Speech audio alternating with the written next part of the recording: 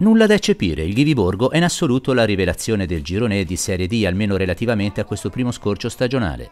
Otto giornate se ne sono andate, la formazione di Guido Pagliuca si è collocata tra le grandi o presunte tali del campionato. La convincente vittoria sul Forte Trestina è un altro biglietto da visita davvero eloquente.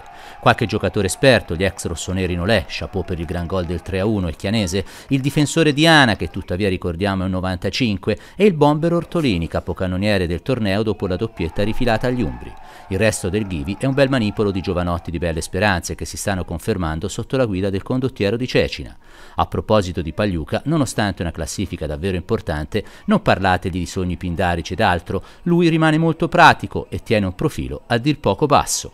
In settimana avevo sentito qualcuno che volava un po'. Noi siamo partiti con un obiettivo semplice, che il nostro budget ci pone quell'obiettivo lì, che è quello di salvarsi. Ci manca 25 punti alla salvezza e dobbiamo essere bravi a non cambiare l'obiettivo fin quando non la raggiungiamo perché se no ci facciamo del male da soli perché poi allora davanti a un pareggio qualcuno storge la bocca, porta attenzione. Noi siamo stati costruiti per salvarci e questo è il nostro obiettivo. Raffaele Ortolini, 26 anni, calabrese di Catanzaro, è il terminator di una manovra piacevole ed ariosa. La sua stazza fisica, abbinata però ad una bella cifra tecnica, lo pongono nella condizione di poter recitare un ruolo davvero rilevante in questa stagione iniziata col botto.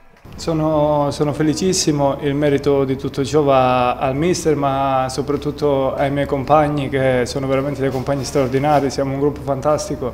E veramente ogni partita ci diamo dentro e cerchiamo di dare il massimo e di buttare sempre il cuore oltre l'ostacolo perché siamo un gruppo di amici, ci vogliamo veramente bene ed è giusto che sia così.